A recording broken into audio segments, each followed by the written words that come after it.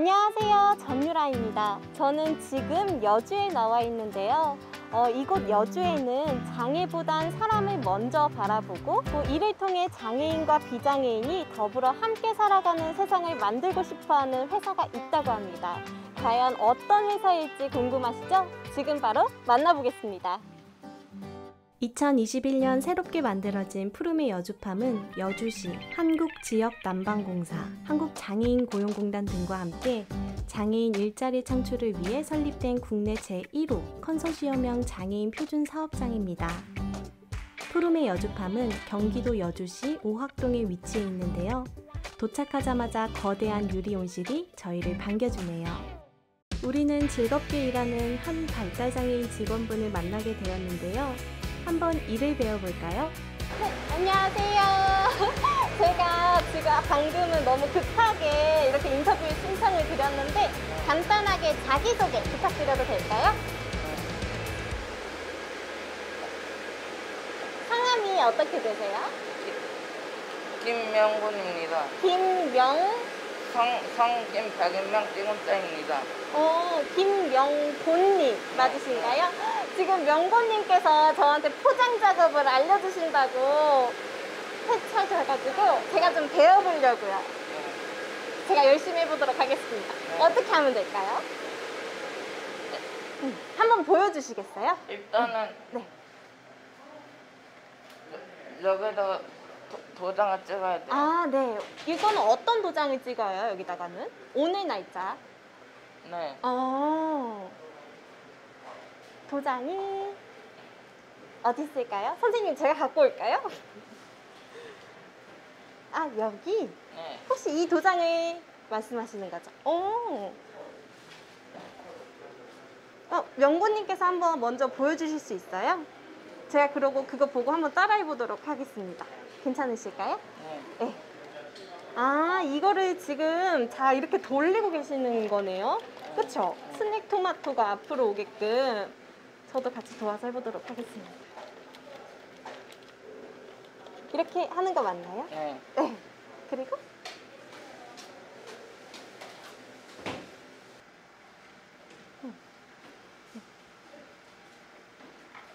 오, 잘 찍혔나요? 오, 잘 찍혔어요? 음, 그쵸?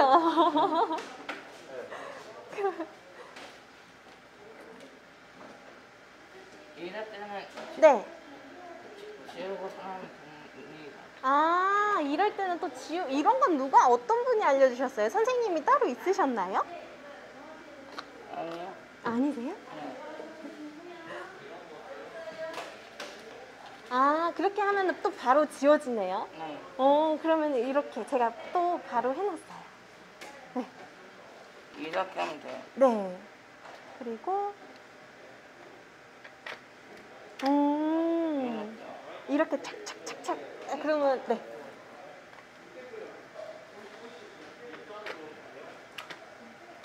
오.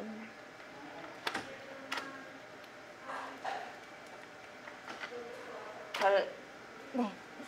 잘 안 나온다 싶으면 네. 링크 넣으면 되는 거예요. 아, 잘 안 나온다 싶으면 잉크를 갈면 되는 거예요? 네. 지금 선, 명곤 선생님께서 제가 그러면 이쪽 한 줄 한번 해봐도 될까요? 네. 아, 감사합니다. 그리고 이렇게 오 자리까지. 네, 와, 제가 지금 이렇게 도장을 찍고 있으면은 명곤 선생님께서 이렇게 포장을 또 하고 계시는데 제가 그럼 마저 찍을까요? 네. 아 이거 재밌네요. 그러면 지금 이 일은 그러면 하루에 몇 시간 정도 일을 하세요? 네. 네 시간. 4시간. 일을 하시는데 힘드시진 않으시고요. 네. 어. 자, 다 찍었어요. 저 이제 이거 옮겨 담는 법도 알려주실 수 있으실까요? 네. 음. 도장 다 찍었으면요. 네.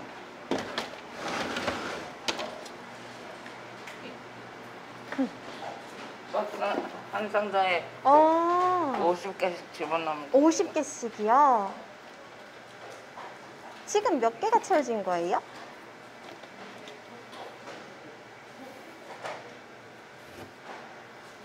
지금 열다섯 개 아, 한 상자가 그러면 여기까지 꽉 차면 50개가 되는 건가요?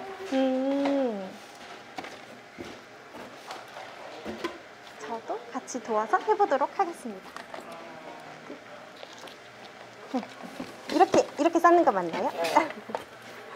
네. 둘이서 하니까 금방 하죠. 지금 제 옆에는 컨소시엄형 장애인 표준 사업장인 여기 푸름의 여주팜이 어떻게 운영되고 있는지에 대해서 설명을 해주실 대표님을 모셨는데요. 지금 저희가 이렇게 봤는데 지금 네. 너무 좋아요, 진짜 오랜만에 막 시골에 온 기분이고 네. 그리고 너- 일단 너무 쾌적하고 깨끗하더라고요. 그래서 여기 푸름의 여주팜이 어떤 곳인지에 대해서도 간략하게 설명 부탁드릴게요. 예, 푸른의 여주팜은 컨소시엄형 장애인 표준 사업장의 국내 최초의 회사입니다. 네. 그리고 어, 농업이란 부분과 발달 장애 청년들의 취업 또는 직장 이렇게 해서 어, 발달 장애인들이 여기서 토마토와 버섯을 재배하면서 행복한 하루하루를 보낼 수 있는 그런 음. 어, 행복한 농장을 꿈꾸고 있는 회사입니다. 음, 제가 네. 알기로는 지금 여기서 근무하시는 분들이 보통 네. 이제 오전반, 오후반 이렇게 네. 나뉘어서 근무를 하고 있다고 들었는데 지금 그러면 총 일하시는 직원분 수는 어떻게 네. 되시는지? 어, 장애인 직원 인원수는 38분이 근무를 하시고요. 네. 비장애인 어, 직원은 6분이 계십니다. 아. 그리고 어, 고용공단에서 지원을 받아서 직원들의 직무를 지도하시는 분이 약 10명 정도 계십니다. 아, 저희가 아까 다 만나 뵀던 예. 분들이군요. 네. 그러면 구체적으로 이제 장애인 분들이 이제 네. 하시는 직무랑 비장애인 분들이 하시는 직무들이 어떻게 나뉘는지도 설명을 부탁드릴게요. 어, 특별히 저희의 경우에는 장애인과 비장애인의 업무가 구분되어 아, 되어 있지 않습니다. 음, 어, 하지만 이제 스마트팜을 운영하기 위해서는 어, 농업 전문가 한 분은 별도로 계시고 나머지 부분들은 어, 장애인과 같이 같은 일을 하고 있습니다. 푸름의 여주팜이 장애인 표준 사업장이 되기까지 예. 그래도 이제 이게 과정이 쉽지는 않았을 것 같아요. 네. 네. 어떻게 이제 어려운 점이 있으셨는지. 어, 어려운 점은 사실 제가 어, 올해 3월에 여기에 이제 대표로 하게 됐고 음. 그 이전에 이제 푸르메 재단에서 어, 이 관련된 일을 했었습니다. 그래서 제가 이야기를 들어봤을 때 부지 확보부터 해서 이후에 푸르, 그 컨소시엄 장애 표준 사업장으로 되기까지의 여러 가지 과정이나 절차상에서 어려움이 있었다고 이야기 들었는데요. 네. 어, 첫 번째는 부지가 아무래도 음. 관광 농원으로. 해야 되다 보니까 대규모 부지가 필요하고 그 부지 확보에 있어서는 이번의 경우에는 기부자께서 기부를 해주셔서 진행이 되었지만 그 전에 확보하는 부분에 있어서 많이 어려움이 있고 지금도 어려움이 있는 걸로 알고 있습니다. 네. 그리고 컨소시엄형 장애 표준 사업장이 아시다시피 중소기업과 어, 지자체 또는 어, 공공기관이 이제 출자를 해서 만드는 회사인데 그 출자하는 데 있어서도 여러 가지 애로사항이 있었던 걸로 알고 있습니다. 어, 아무래도 공공기관이다 보니까 출자하는 데 있어서 여러 가지 절차나 이런 부분이 어, 컨소시엄 장애 표준사업장을 만드는 법의 취지에 걸맞게 어, 출자를 용이하게 되어 있지는 않, 않았습니다. 그래서 여주시 그리고 지역 난방공사 같은 경우는 어, 출자를 하는 데 있어서 여러 가지 어려움이 있었는데 그런 부분도 어, 담당하시는 분이 슬기롭게 해서 어, 음. 만들어진 걸로 알고 있습니다. 아, 네. 네, 정말 조금 어렵게 만들어졌는데 예. 그래도 너무 잘 만들어져서 그리고 이제 비장애인 분들과 장애인 분들이 예. 함께 이렇게 그렇죠. 그분들 덕분에 이렇게 예. 일을 할 수 있는 공간이 생긴 게 정말 너무 좋은 것 같습니다. 맞습니다. 너무 소중하고 이제 귀한 시간 내주셔서 감사합니다, 아, 네. 대표님. 예.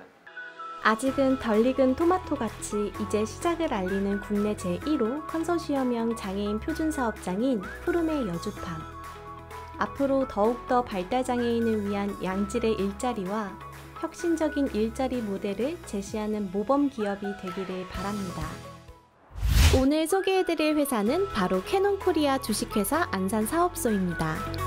캐논코리아 주식회사 안산사업소는 경기도 안산시에 위치해 있습니다. 웅장하고 멋진 공장이 시선을 사로잡는데요. 외관을 봤으니 이제 내부로 들어가서 더 많은 이야기를 들어볼까요?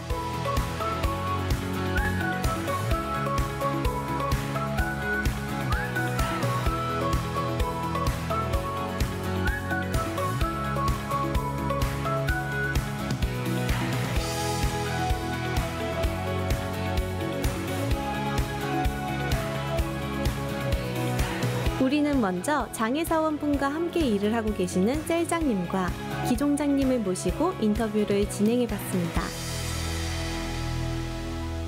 인터뷰를 진행하는 와중에 열심히 일하고 계시는 한 청각장애인 사원분이 저희의 눈에 띄었는데요. 한번 그분의 이야기도 들어볼까요? 안녕하세요. 어, 만나서 반갑습니다. 네, 오늘 이렇게 지금 저희가 캐논 코리아 휴게 공간에 나와 있는데요. 지금 이제 장애 사원분을 대- 모시고 저희가 인터뷰를 간단하게 진행을 하고자 합니다. 어, 먼저 간단하게 자기소개 한번 부탁드려도 될까요? 안녕하세요.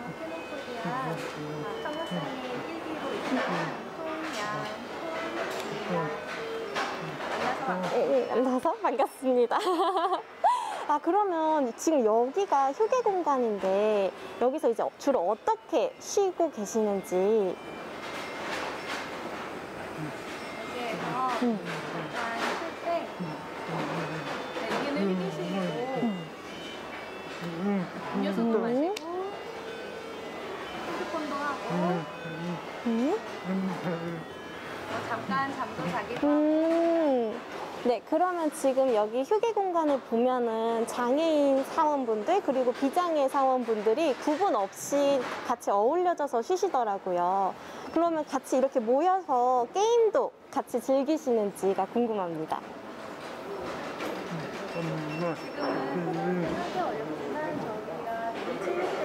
음.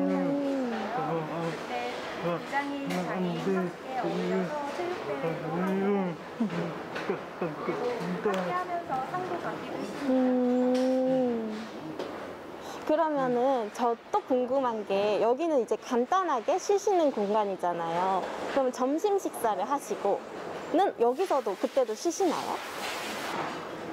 저희 밥 먹고 난 다음에 카페가 있어서 음. 그리고 제가 또 궁금한 게 있었어요. 궁금한 게 지금 너무 많은데 여기 옆편에 보면은 지금 M자라고 마크가 써 있고 그리고 밑에 이제 성함, 성양훈이 적혀 있는데 이거는 어떤 표시인가요? 여기 적혀 있길로는 슈퍼 마이스터라고 적혀 있네요.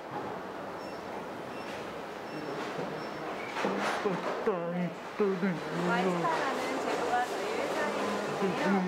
1년에 한 필기 봐요. 아.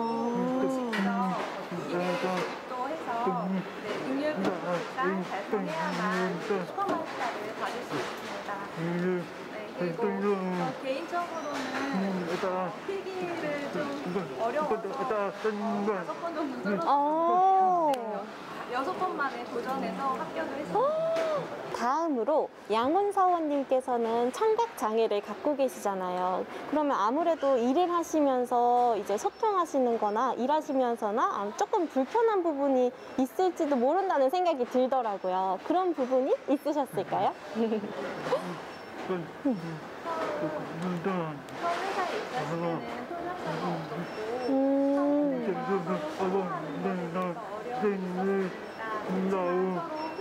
처음 없었고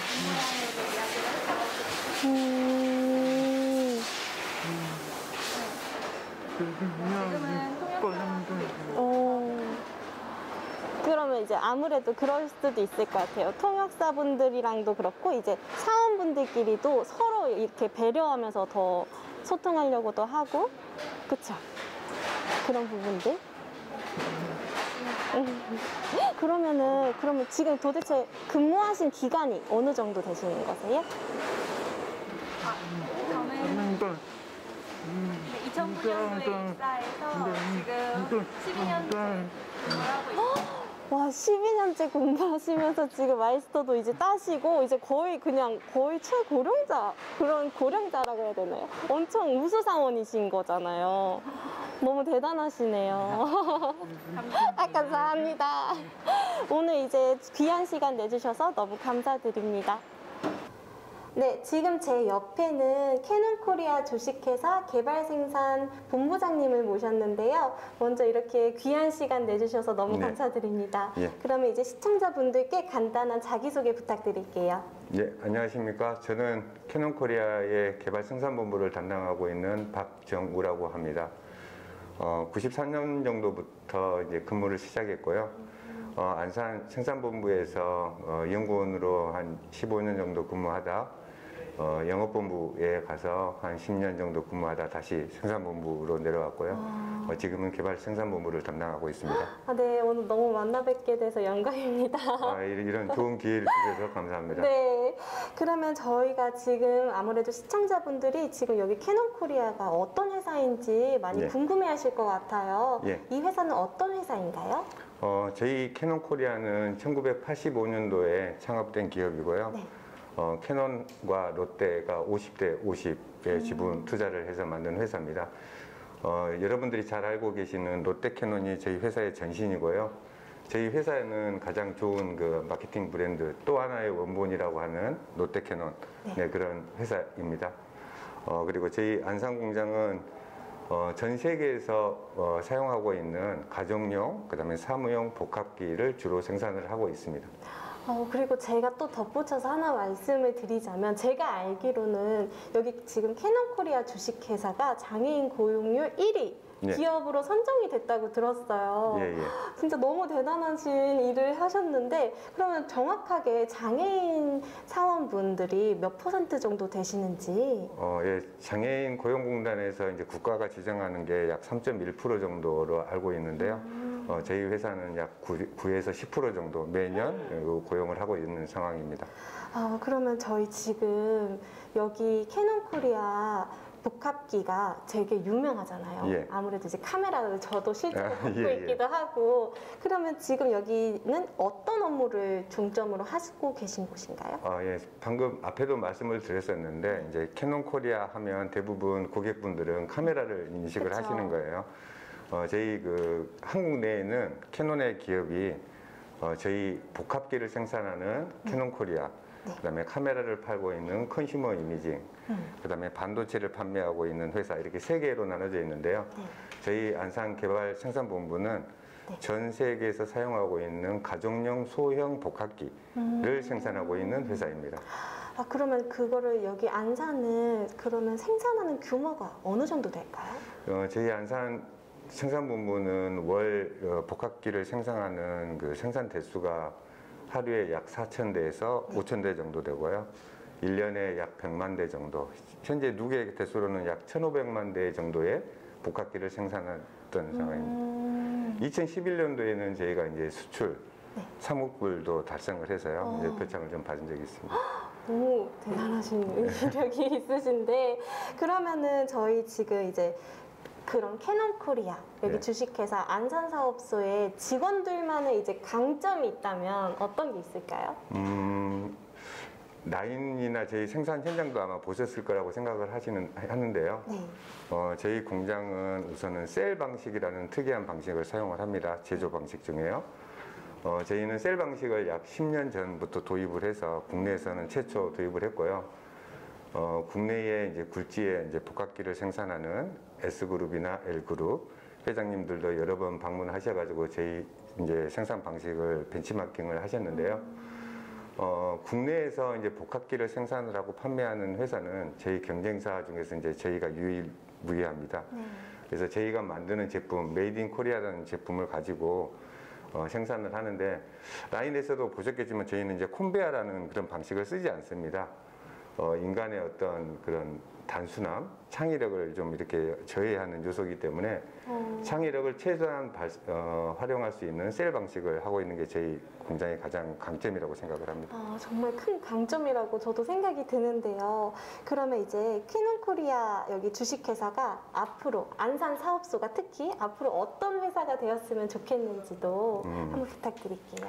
요즘에 그 가장 이슈는 뭐 사회적 기업이라는 이슈도 많이 나오고요. 네. ESG 경영이라는 음, 화두도 많이 되고 있는 것 같아요.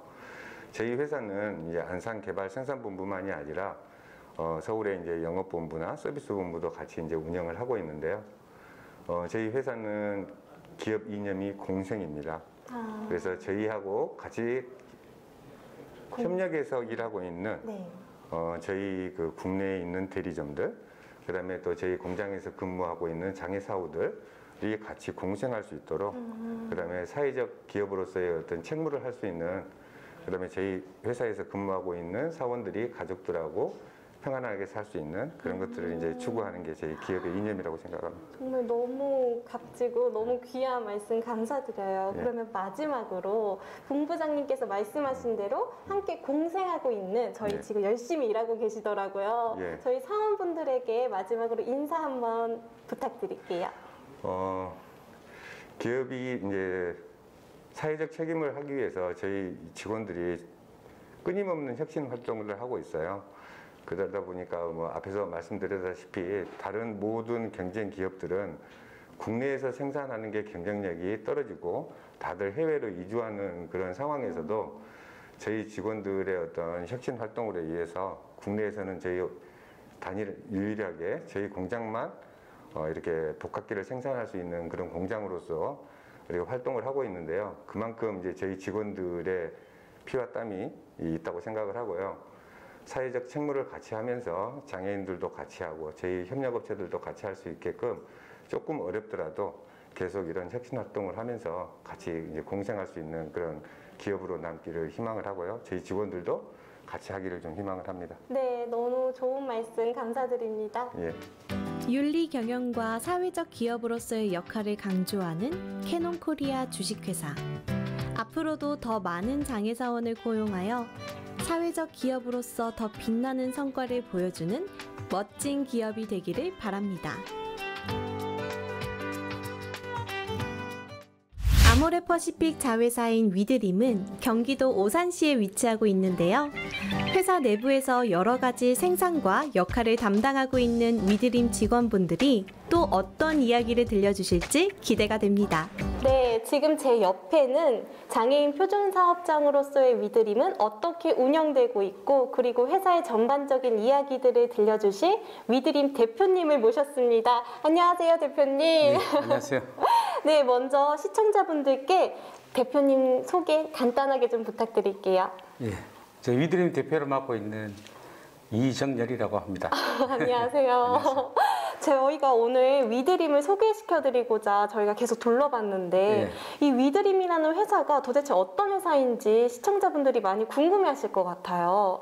위드림은 어떤 회사인가요? 아, 그 위드림은 아모레퍼시픽의 자회사 표준 사업장입니다. 네. 저희들은 어, 장애인들의 자력 기반을 지원하고 기업의 사회적 책임을 준수하기 위해서 설립되었습니다. 어, 그러면 제가 아까 계속 이제 위드림 직원분들을 많이 만나 뵀는데 네. 직원분 수가 어떻게 되죠? 어, 지금 총 98명이고요. 네. 근데 세 분은 지원 업무를 하고 계신 분이 이제 세 분 계시고 네. 95분은 현장에 계십니다. 음. 근데 지금 현재 저희들이 지원하고 있는 인력 외에 95분은 전부 어, 장애인들입니다.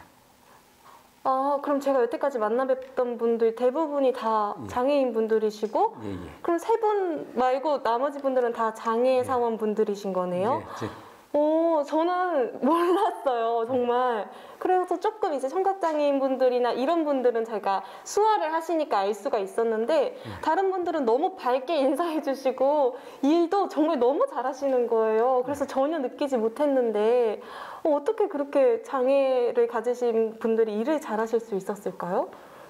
아, 저희들이 이제 처음 설립했을 때는 저희들도 뭐 잘 몰랐습니다. 잘 몰랐고 그래서 음. 이드림이 특징이 보면 다양한 장애를 가진 분들이 같이 근무하는데 그래서 처음에는 그냥 잘 모르니까 그 다양한 장애를 같이 뽑아서 처음에 일을 할 때 처음에는 사실 굉장히 좀 어려운 부분들이 있었어요. 네. 장애 유형이 틀리다 보니까 작업에 적응한 속도도 틀리고 음. 가지 이슈가 있었는데 또 그게 또 오래 지나다 보니까 뭐 서로 그 식구처럼 어울리고 그래서 지금 현재는 뭐 오히려 더 좋- 나은 모습인 것 같고요. 어, 그러면 이렇게 장애사원분들이 같이 일하시게 되시는 그런 계기가 있으실까요? 어, 저희들이 처음 설립될 때는 아모레 퍼시픽에서 어떤 의무의 그 장애인 표준사업장 설립할지에 대해서 사실은 많은 이슈가 있었고요. 음, 그래서 이제 어디가 할 건지에 대해서 많은 논의가 있습니다. 근데 그때 제가 잘한 건지 못한 건지 그때 어느 순간 물류 같으면 할 일이 있을 것 같은데 제가 한번 해보겠습니다 라고 했다가 그냥 맡게 됐습니다. 제가. 제가 한번 해보겠다. 어, 그러면 제가 한번 해보겠다 하고 맡게 되심으로 인해서 네. 이제 장애사원분들을 90, 99 95분이나 고용을 하셨는데 네. 그러면 이분들을 고용함으로 인해서 이점이 있으셨을까요? 처음에는 사실 약간 이제 의무라고 생각했을 거예요. 의무라고 생각했었는데 좀 하다 보니까 저희들이 생각하는 이상으로 굉장히 적응을 잘하고 재밌게 하더라고요. 그래서 뭐 처음 시작했던 일이 자꾸 이제 느리게 됐고 느리다 보니까 지금 현재까지 온 것 같습니다. 그리고 이제 제가 직원들한테 한 약속이 있는데 아직까지 다 못 지킨 거 하나는 우리 언제 세 자리 한번 채워보자 그랬는데 아직 두 사람이 모자랍니다. 아 지금 두 분 지금 두 분 긴급 공고 모집을 한번 네 그러면은 이렇게 장애인 표준 사업장이 되기까지 그럼 또 별다른 또 어려움은 없으셨을까요? 어, 장애 유형이 다양하다 보니까 사실은 좀 성, 성격들이 틀리더라고요. 특히 이제 청각분들은 굉장히 일을 열심히 하고 그다 의욕이 좀 넘치다 보니까 그 다른 장애 유형들에 대해서 좀 일을 좀더 왜 더잘 못 잘 못하냐 이런 욕심들이 있더라고요. 그래서 이제 그런 쪽 그런 쪽 부분들의 알력들이 좀 있었고 그 다음에는 또 저희들이 고민했던 게 이제 그 일을 하다 보니까 이렇게 생산성이라는 걸 자꾸 사람들이 생각을 하더라고요. 그래서 굉장히 서두르고 뭐 조급하게 일하고 이제 그런 부분들이 있어서 그것으로 설득해가지고 우리 생산성보다는 또 품질로 가자. 저희들이 이제 일을 하는 것들이 아까 보셨겠지만 수출 쪽이나 네. 그다음에 이커머스 B2C 쪽은 전부 다 마지막에 보면 수출은 외국 나가버리고 B2C는 고객이 직접 받기 때문에 그 하나하나가 좀 잘 작업이 돼야 되는데 속도를 가- 가지고 일할 게 아니고 더 꼼꼼하게 일하는 게 중요하니까 이제 그런 쪽에 대해서 저희들이 이제 또 조율하고 호흡 맞추는 게 그런 것들이 시간이 좀 걸렸던 것 같습니다. 어, 그래서 지금의 위드림이 만들어진 거군요. 예. 그러면 이렇게 생활을 하시면서 저기 제가 알기로는 한국 장애인 고용공단에서 또 이렇게 지원도 받으신다고 들었어요. 아, 장애인 표준 사업장이 됨으로 인해서. 저희 처음에는 지원 많이 받았죠. 그럼 코치도 사실 많이 받았고 저희들 이제 아, 처음에 저는 처음에 아무것도 모르는 데 시작했기 때문에 공단 쪽에서 저희들이 이제 특히 학근지에 대해서도 음, 또 지원도 많이 받았고 시설 같은 경우도 저 휴게실이나 뭐 그다음 직기비품 그다음에 그 작업에 관계된 용품들도 있었고 그다음 화물 저 저기 저희들 직원들 타고 엘리베이터나 저 세차장 같은 경우에도 시설 지원들을 받았고요. 그래서 실제로 그 표준 사업장이 처음 자립하는데 처음 일어서는데 도움이 상당히 컸던 것 같습니다. 어, 정말 아까 안 그래도 세차장 방금 말씀해 주셔서 저희도 생각이 난 건데 네. 저희가 여기 위드림에 오자마자 세차장을 다들 보시고 최고의 복지라고 다들 너무 부러워하셨어요. 그러면 이렇게 장애인 고용공단에서 지원을 해주는 것 별개로도 뭐 회사에서의 또 이점이 있었을까요? 장애사원분들이랑 함께 일을 하시면서 여기 있는 많은 사람들이 장애인들에 대한 인식들이 많이 좀 바뀐 것 같습니다. 처음에는 그 장애가 있음으로 해서 이런저런 문제가 있지 않겠나 우려가 좀 많았거든요. 예를 들면 세차 서비스 같은 경우에는 처음에 세차 서비스 맡겼을 때 사람들이 차를 찾고 나면은 그 차를 유심히 꼼꼼히 챙겨보더라고요. 혹시나 어디 문제가 있지 않을까. 그래서 장애 가진 사람들이 일을 한다고 해서 뭐 문제가 있지 않을까 보는데 사실은 그게 조금 지나고 나니까 그런 건 인식은 없어졌고요. 그리고 사실은 저희도 굉장히 좀 만족합니다. 나, 그 서비스 받는 분들도. 제가 알기로는 저희 위드림에서 이렇게 장애사원분들을 고용하는 것 외에도 다양한 나눔을 실천하고 계시다고 들었어요. 정확하게 어떤 나눔들을 실천하는지 너무 궁금합니다. 예. 저희들 한세 가지 정도 지금 하고 있는데, 그 일단 첫 번째는 그 세차 서비스에서 저희들 세차비를 그한 분당 만 원에서 만 이천 정도 받는데, 음, 그게 연간 모임 비용을 저희들이 그 저희들 비용 쓰지 않고 오산시하고 제휴해서 지금 오산시의 장애인 단체 쪽에 전에 기부하고 있습니다. 그리고 이제 기부하는데 저희들이 된 금액에서 매칭 기부터라고 해가지고 아모레퍼시픽에서 같은 금액을 내서 이제 두 배를 지금 하고 있고요. 그 다음에 오산시의 그 보치아 클럽 세상 속으로라고 네. 그- 그분 주로 중증장애 분들이 하는 스포츠인데 그쪽 팀에도 저희들이 3년 동안 계속 지금 후원하고 있습니다. 그게도 마찬가지로 매칭 기부돼서 후원하고 있고요. 아, 마지막으로는 저희 성심학교에 저희들이 입학 장, 장학 금을 저희들이 좀 만들어 가지고 저희들이 또 후원을 하고 있습니다. 그 이런 쪽에서 봤을 때 저희들은 특히 마지막 것 같은 경우에는 그 장애인 표준 사업장 장애인이 돈을 벌어서 장애인들을 위- 위해서 쓸 수 있다는 쪽에서 굉장히 의미가 있다고 보고 저희들 계속 좀 지속적으로 확대할 생각입니다. 정말 장애사원 고용 말고도 다양한 나눔을 실천하고 계시네요. 네, 그럼 이제 마지막으로 위드림이 앞으로 어떤 회사가 되었으면 좋겠는지도 한 말씀 부탁드릴게요. 예, 그 좋은 회사 뭐에 대해서는 여러 가지 이야기를 많이 하시겠는데 네, 저는 좀 약간 다른 식으로 말씀드리고 싶습니다. 그 위드림에서는 보호자 간담회라는 행사가 있습니다. 그래서 그 연에 한두 번 정도 했었는데 지금은 이제 코로나 때문에 못 하고 있고요. 그럼 그때는 보호자분들이 오셔서 현장의 작업장도 훑어보시고 그다음에 식사도 같이 하고 그러고 나서 이제 가정과 직장에서 그 친구 어떻게 케어할 건지 같이 상담하고 논의하는 자리가 있는데 그 자리에서 제가 저기 바- 특히 발달장애 젊은 친구들 많기 때문에 그쪽 부모님들한테 그런 말씀 드렸어요. 우리 젊은 친구들 정년퇴직할 때까지 한번 다 다녀보자. 그래서 저는 이제 여기 있는 같이 간 친구들이 오래오래 다닐 수 있도록 그, 그런 게 좋은 직장이 아니냐 그러고 또 작업 환경은 당연히 계속 유지해야 될 거고 그래서 오래 다닐 수 있는 좋은 회사 자립 기반을 제대로 지원한 회사 그런 회사가 될 수 있도록 만 들어 보고 싶습니다. 네, 너무 좋은 말씀 감사드립니다. 정말 대표님 말씀대로 직원분들이 오랫동안 일을 하실 수 있도록 저도 같이 바래보겠습니다. 오늘 귀한 시간 내주셔서 너무 감사드립니다, 대표님. 예, 저도 계속 열심히 하겠습니다. 네, 안녕하세요.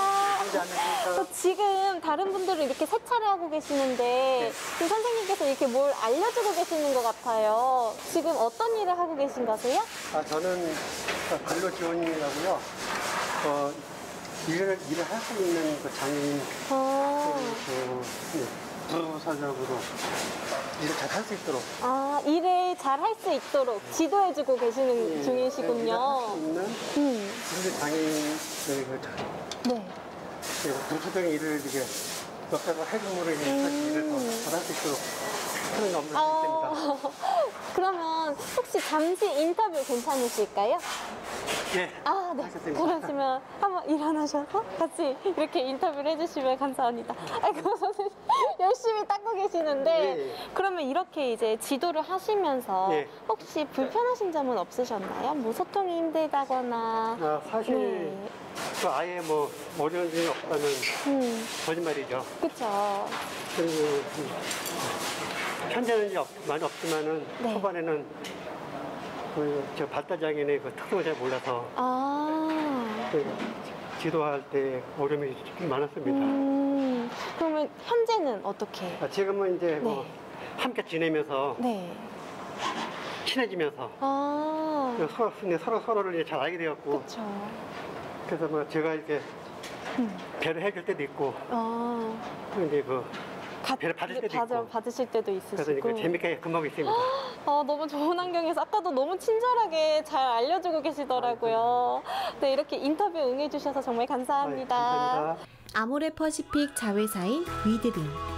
앞으로도 장애인 표준 사업장으로서의 역할을 충실히 수행하고 더욱더 많은 장애사원을 고용하여 장애인들의 경제적 자립을 돕는 멋진 기업이 되기를 바랍니다.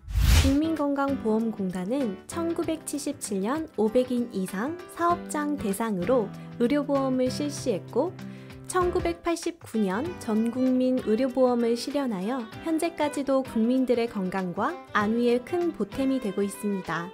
국민건강보험공단은 국민건강보험, 노인장기요양보험 등 많은 정책들을 통하여 국민들의 병원비 부담을 덜어주기 위해 노력하고 있습니다. 네, 지금 제 옆에는 국민건강보험공단 수원 서부지사 사원분을 모시고 인터뷰를 진행하려고 하는데요. 안녕하세요. 먼저 이렇게 인터뷰에 응해주셔서 너무 감사드립니다. 저희 먼저 시청자 여러분들께 간단한 소개 한번 부탁드릴게요. 아, 네. 네, 안녕하세요. 저는 수원 서부지사에서 행정직으로 근무하고 있는 이천귀 주임입니다. 아, 반갑습니다. 이천기 주인님. 네. 저희 그러면 혹시 여기 국민건강보험공단에서 일을 하고 계신데 어떻게 입사를 하게 되셨나요? 아, 네. 저는 지난 올해 상반기 공개 정기 채용에서 어, 장애 특별 전형 행정직으로 지원을 해서 어, 합격하게 되어 올해 7월부터 어, 지금 근무를 하고 있는 있습니다. 어, 그러면 지금은 주임님으로서 어떤 주로 업무가 어떻게 되시나요? 아, 저는 지금 자격부가부에서 근무를 하고 있고요. 어, 자격부가부는 어, 건강보험에 이제 가입하시게 되면 어떤 자격을 가지게 되시고 그 자격 안에서 보험료를 내실 때 음. 어, 그, 그거에 대한 기준이 있거든요. 그 기준을 조정하고 또 뭐 경감도 적용하고 이런 업무를 하고 있습니다. 어, 그러면 혹시 저희가 이렇게 출퇴근하시거나 네. 근무하시며 일을 하실 때 어려운 점이나 그런 거는 없으셨나요? 어, 일단 뭐 출퇴근의 어려움은 크게는 없고요. 어, 지금 자가를 이용해서 이제 출퇴근을 하고 있는데 어, 저희 지사가 아무래도 민원인 분들이 많이 방문을 하시고 음. 어, 직원분들도 이제 출장을 나가시는 직원분들이 굉장히 많으세요. 그러다 보니까 주차 공간이 조금 부족하다는 점 말고는 음. 네, 그점 정도 불편한 점이 있는 것 같습니다. 아, 그러면 뭐 이렇게 출퇴근하시는데 다른 부분에서는 특별히 어려움은 없으시고 네. 주차만 주차만 어려움이 있으시다고 하셨습니다. 네. 그러면 그런 꿀팁 같은 거 있을까요? 이렇게 주차하실 때 나만의 노하우라든가. 노하우 네. 일단은 일찍 나와야죠. 아. 네. 일찍 나와서. 다른 사람이 먼저 되기 전에 네. 일찍 나와야 되고 아, 그래서 저는 보통은 출근 한 2, 30분 전에 일찍 나와서 이제 그 일을 준비하는 편인 것 같습니다. 음, 그러면은 오늘은 몇 시에 출근을 하셨나요? 오늘은 좀 긴장이 되더라고요. 어. 인터뷰 한다는 얘기가 어. 들어서 네. 그래서 좀 삼- 옷도 좀 평소보다 좀 더 빨리 준비를 해서 한 30분 정도 일찍 오, 그럼 그때 오셨을 때는 주차 자리가 널널하셨나요? 그렇습니다. 아, 네. 잘 보고 계시죠? 이러면서 30분 일찍 나오시면 됩니다. 막 이렇게. 그러면 이제 아무래도 이렇게 장애를 갖고 계시는 분이 이제 이렇게 일을 하시면서 장애 사원분들과 비장애 사원분들이 처음에 이제 함께 일을 하시기 전에는 서로 이렇게 잘못된 편견들이 있었을 수도 있을 것 같아요. 네.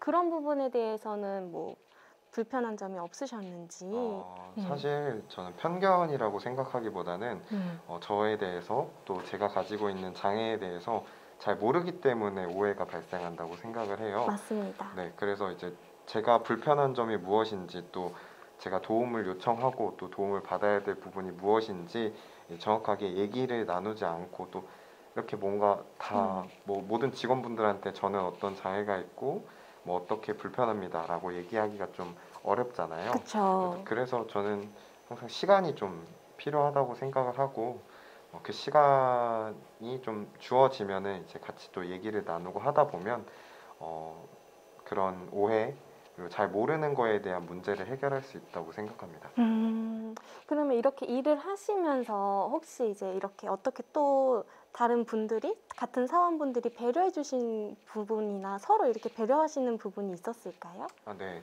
음. 어, 아무래도 제가 이제 뭐 걷는 거라든지 어, 이렇게 앉았다 일어났다 하는 게 조금 불편하다 보니 이제 뭐 팩스를 이제 인쇄를 할 때라든지 어, 그럴 때 어, 제가 움직이려고 하면 웬만하면 뭐 팀원분들이 같이 자기 거 가지고 오시면서 제 것도 나눠주시고 어, 이제 제가 다치지 않게 어, 배려를 많이 해주시는 편인 것 같습니다. 어, 네, 이제 다음으로 국민건강보험공단이라는 국민분들에게 도움을 주는 회사에서 일을 하고 계시는데 이렇게 이제 국민들에게 도움을 주시는 회사에서 일을 하실 때 느끼시는 보람이 있으실까요? 아, 네.